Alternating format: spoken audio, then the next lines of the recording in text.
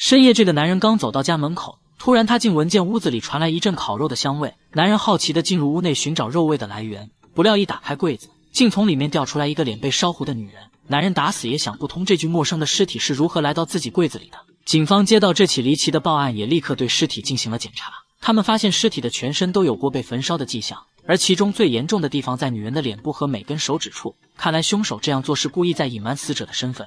刑警小智经过初步尸检，发现死者的肺部和器官内都没有过被烟熏的迹象。再结合尸体颈部呈现出的深度勒痕，他怀疑女人当时应该是先被凶手勒死后才放火焚烧的。根据尸僵形成的变化，小智推测死亡时间大概在昨夜的十点到十二点之间。虽然凶手对尸体做出了大面积的损坏，不过警员经过反复搜查，还是在死者身上发现了一个钱包。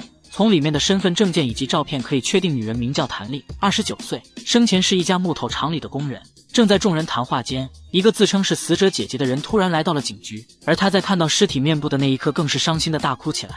从女人口中得知，她与妹妹从小相依为命长大，所以她即使被人害成这般模样，自己也仍然能一眼认出。而姐姐伤心的告诉警方，杀害妹妹的凶手肯定是她的丈夫李阳，因为这么多年来，他不止一次的对妹妹实行家暴，甚至就连他们年仅一岁的女儿也不放过。所以姐姐认为，能对妹妹做出如此狠心的人只有李阳。得到线索后，警方立刻将此人带到了审讯室。面对警员的质问，李阳竟毫不遮掩地承认了他对死者家暴的事实，而且还扬言这一切都是谭丽自作自受。从李阳口中得知，自从两年前他失业后，家里就断了一份经济来源。可谭丽非但没有帮衬家里，反而还把钱全部寄给了他自己的爸妈看病，所以他一气之下才对妻子进行了殴打。可正当警员阿明以为面前的这个男人就是杀人凶手时，李忠接下来的话却让他们十分震惊。他称自己从小就患上了很严重的脸盲症，所以这么多年他压根连妻子和女儿长什么样子都不清楚。而昨天他原本去厂里想找妻子的好朋友陈怀要钱，因为他之前买车曾欠过谭丽一些钱。可没想到他在厂门口观望时，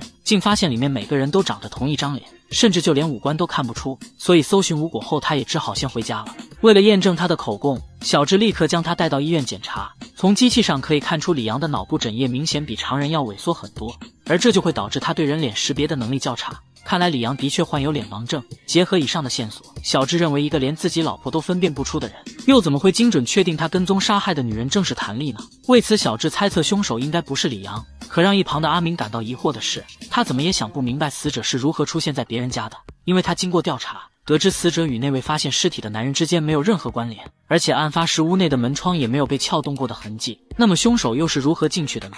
为了了解到与死者生前有关系的人，警员本想去找他的朋友陈怀询问一下，不料却发现他在谭丽遇害后就莫名其妙的失踪了，而且手机也一直处在关机的状态。警员经过对他身边同事的调查，竟意外得知他与那位发现尸体的黄文志是男女朋友关系，并且二人还经常住在一起。而这也就解释了为何死者会凭空出现在那里。小智猜测谭丽当时很可能是去找陈怀谈事情，结果意见不同，才选择了杀人灭口。再结合警方之前询问黄文志时，他也称根本不认识死者，因此小智认为陈怀与他的男友二人都有作案嫌疑。随后，阿明二人根据地址来到了黄文志上班的地方，却发现这里的位置和死者生前的工地很接近。阿明见状，便向其中一位工人打听他的事情，不料对方却称他昨天就已经提出辞职了，而且就连工资都没有来得及要。感到事情不妙，阿明立刻赶往他的家中，结果在半路上就碰见了准备逃跑的黄文志。之后二人便在小巷里展开了激烈的追逐，最终在小智的配合下成功抓到了他。将他带到审讯室后，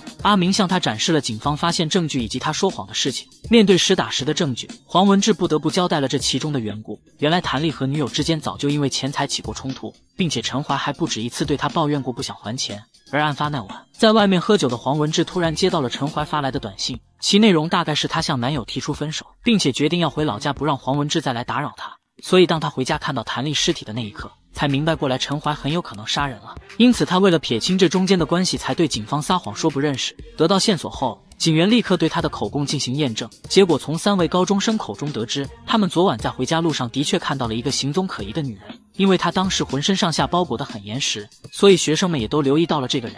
而警员经过对陈怀之前的照片筛查，也在里面同样发现了与视频中相似的衣着，看来这个陈怀很有可能是已经畏罪潜逃了。为了尽快破案。警员再一次返回到案发现场，经过一番搜查后，他在角落里发现了一张死者与陈怀的合照。可就在这时，他突然留意到陈怀肩膀处的纹身。他想起之前对死者做尸检时，曾发现他的身上就有一处相同的纹身，而且就连上面的深浅都一致。于是他立刻把这一惊奇的发现告诉了阿明。随后，警方再一次对尸体进行了全方面化验。让众人感到意外的是，他们通过基因可以证实死者并不是谭丽，而是他们一直在寻找的陈怀。如此看来，案发当晚那个乔装打扮的女人才是真正的谭丽。可是她又会藏身到哪里呢？随后，阿明二人来到谭丽的家中搜查，在院子里，他们注意到了一间奇怪的冷库。可他们前脚刚进去，身后竟突然出现一个神秘人，将门从外面锁上了。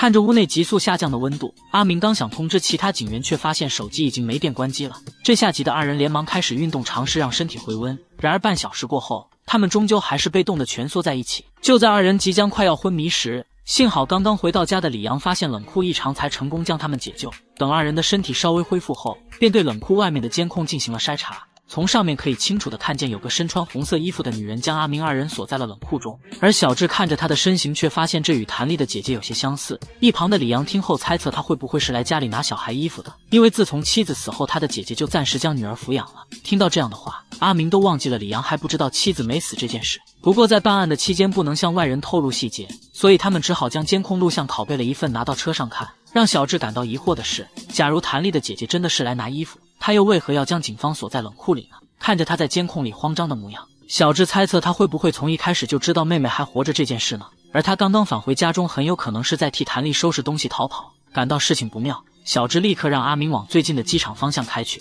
与此同时的另一边，谭丽和姐姐果然出现在了机场里。他内心淡定的顺利通过了安检。就在谭丽开心的以为他即将迎来幸福的生活时，幸好阿明二人的及时赶到，才成功阻止了他。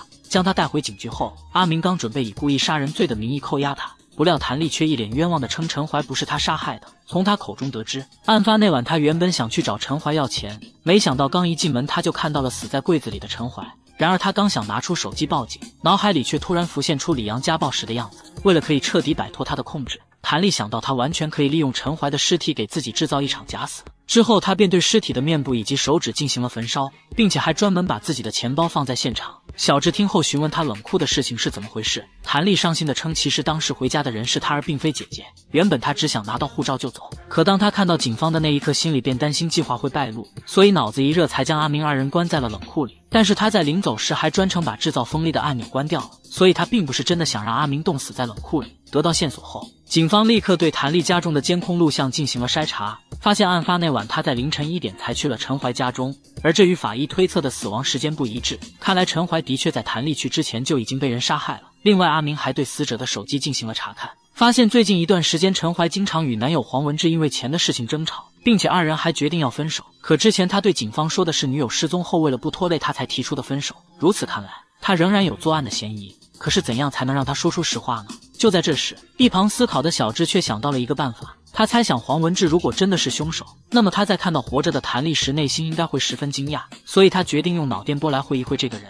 随后，警方立刻将他带到了警局。起初，小智不管询问他任何事情，黄文志的内心都表现得十分淡定。可当警方让谭丽进来时，他却表现出一副难以置信的表情。不过，脑电波上仍然处于平滑的状态。这也就说明黄文志压根不相信谭丽还活着。小智坚信仪器不会说谎，所以他认为凶手并不是黄文志。此时，在审讯室外面观察的阿敏，却突然想到了那个一直家暴谭丽的李阳。于是他利用领取补助金的借口，将李阳骗到了警局。小智把仪器戴到他的头上，并且让谭丽走了进来。而李阳在看到后，却一直表示他看不清楚这个人的脸。正当警方以为线索要断了时，小智却突然让谭丽将耳环戴上，再重新走进来。果然，这一次李阳一眼就认出了这是他的妻子。可不管他如何掩盖情绪，此时脑电波上呈现出来的幅度早已经凌乱。原来小智之前在李阳家里勘察时就注意到了墙上的照片，他发现谭丽的那枚耳环和死者死亡时戴的一样，所以他才想到李阳会不会把陈怀当成妻子给杀错了。看着警方提供的种种证据，他终于承认了杀人的事情。原来他那天去工厂找陈怀要钱时，无意间看到戴着耳环的他正在和男人约会。可在李阳的眼里，这个人却是他的妻子，所以内心愤怒的他便决定要把谭丽杀掉。到了晚上，他根据白天陈怀约会的地址，成功来到了黄文志的家中。最终在耳环的刺激下，他才将陈怀错认成妻子给活生生的掐死了。